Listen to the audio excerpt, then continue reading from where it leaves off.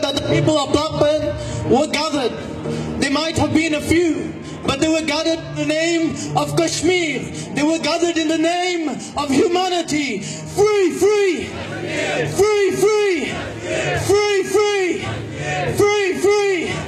When your children, when your grandchildren ask you that the women of Kashmir were being raped, what did you do? At least you'll be able to say that I exited my house and I came in the town centre of Blackburn and I stood up for peace. I stood up for justice. I stood up for peace. I stood up for justice. Peace and justice. Peace and justice. Peace and justice. Peace and justice. Scream it.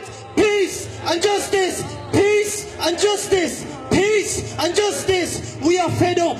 We are fed up with the way our women are being treated in Kashmir.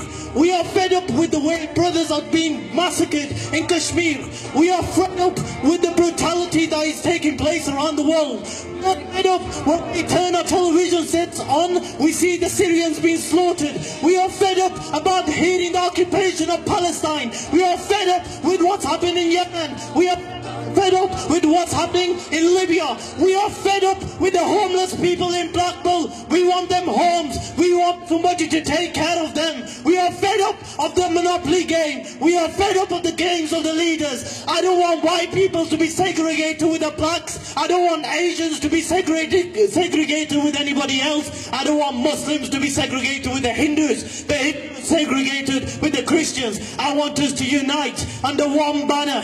One banner, the banner of, banner of humanity. Can we do this? Can we do this? No peace. No peace. No peace. No peace. No peace. I have belief that our leaders, inshallah, you will continue the fight. I have belief in you, Kate. I have belief in you, councillor. I have belief in you, councillor, as well. Today is not the last day when we start, when we stand up for Kashmir. Inshallah, until we have breath, until we have breath, we will continue the fight of Kashmir. If you are Muslim, say inshallah with me. And if you are not, you will have to believe in yourself and you be faithful about the freedom of the Kashmir. I pray as a Muslim, Ya Allah, unite us under one banner. Unite us under, under the banner of humanity. Say Ameen.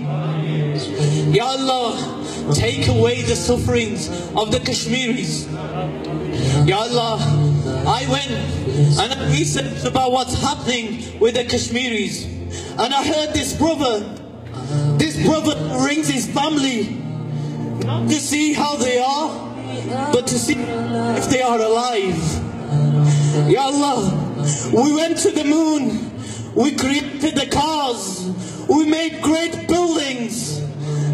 But Ya Allah, humanity still lacking within us. Why should this brother have to ring his friends and families to find out if they are alive? Ya Allah, take their suffering away from them. Ya Allah, free Kashmir.